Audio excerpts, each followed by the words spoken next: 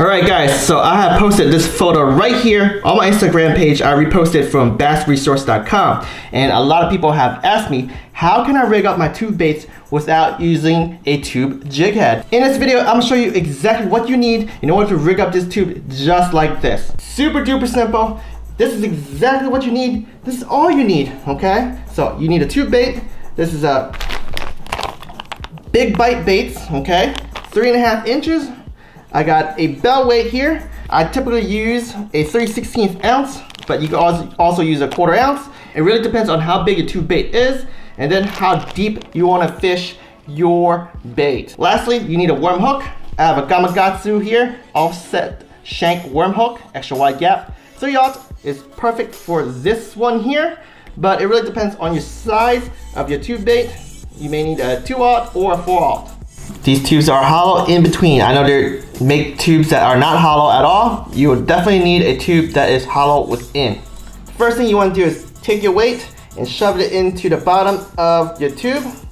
And if you need to, you can always lubricate using saliva, the weight, before you shove this thing in.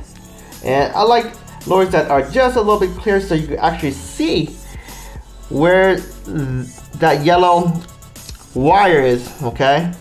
Because you need to set the hook properly. You need to insert the tip into the plastic, then it needs to go through this just like that and out the tube bait before you twist the whole thing around and set the whole thing up as so. Okay? So, let's give it a shot. We'll take this, insert it to the top, then you need to pluck and I'm squeezing this just to push it right in um, and I got it. Boom. Okay. Slide it through. Got it right there. And then pinch.